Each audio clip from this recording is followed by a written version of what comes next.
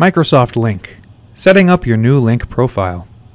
In this lesson, you'll learn how to set up your Microsoft Lync profile and use some of its great features. At the top of the screen, you can add a personal message that will be visible to others. There's a text box which reads, What's happening today? Simply click on it, and the text will disappear, allowing you to create your own personal note.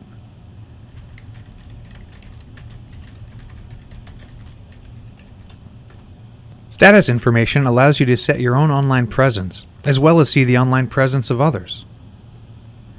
This will allow you to approach your colleagues at the right time with the right type of communication. To change your status manually, click on the down arrow under your name and click a new status from the menu. By default, everyone may view your presence, but you can change this, so only your contacts can see your availability.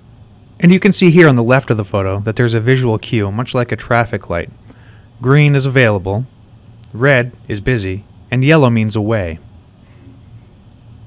I'm going to set mine to available. Below that is your location setting, which is not set by default. However, you can change your location manually.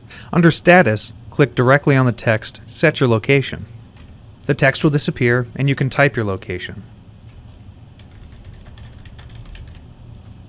And if you click on the drop down arrow, you can see my custom locations, or you could remove them. You can also choose whether or not people even see your location by unchecking Show Others My Location. When you do that, you'll see a No icon. Clicking on the cog will allow you to change many of the Lync options general options, some personal ones, status. Here you can adjust if Lync will show you as inactive or away based on how long you've been in idle. You can choose to have a picture of yourself, you could also choose not to, using your default corporate picture, or to show a picture from a web address. Other options are available if your company uses Lync for phone or video calls. And that was how to set up your Microsoft Lync profile.